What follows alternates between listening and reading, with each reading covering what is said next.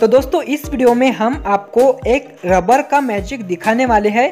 देखो फ्रेंड्स, मेरे इन दो उंगलियों में रबर आपको दिख रहा होगा। अब ये रबर इन दो उंगलियों में आपको मैं कैसे लाता हूँ, ये बताने वाला हूँ। तो देखो फ्रेंड्स, देखो यह मेरा जो थम है, मैंने इस तरह रख दिया है। और देखो, अब मैं इन दो उंगलियों का रबर बाजू की दो उंगलियों में कैसे लाता हूँ। देखो फ्रेंड्स, आ गया। देखो कैसा मैजिक है फ्रेंड्स। देखो मैं आपको फिर से बताता हूँ, ये मेरा थम मैंने फोल्ड कर दिया। अब देखो, इन दो उंगलियों में का रबड़, इन दो बाजू की उंगलियों में कैसा जाता है, देखो फ्रेंड्स देखो देखो देखो कैसा आ गया फ्रेंड्स तो आपने देखा होगा, अब मैं आपको बताता हूँ कि मैंने यह मैजिक कैसे किया। तो फ्रेंड्स सबसे पहले आपका थम इस तरफ़ फोल्ड अप कर देना है। और जैसे फोल्ड करते हो तो उस थम से यह रबड़ आपको अंदर ही स्ट्रेच कर लेना है। हाँ फ्रेंड्स आपको स्ट्रेच कर लेना है रबड़ को।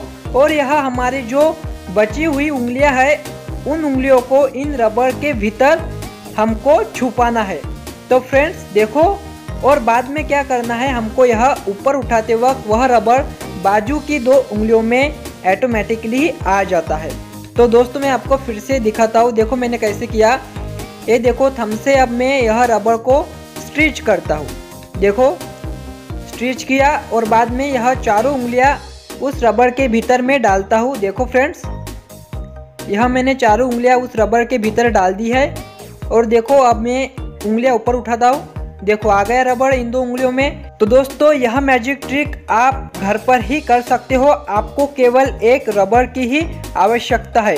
तो दोस्तों, यह मैजिक ट्रिक आपको अच्छी लगी होगी तो इस वीडियो को ज़रूर लाइक कीजिएगा और इस ट्रिक को अपने फ्रेंड सर्कल में भी शेयर कीजिएगा।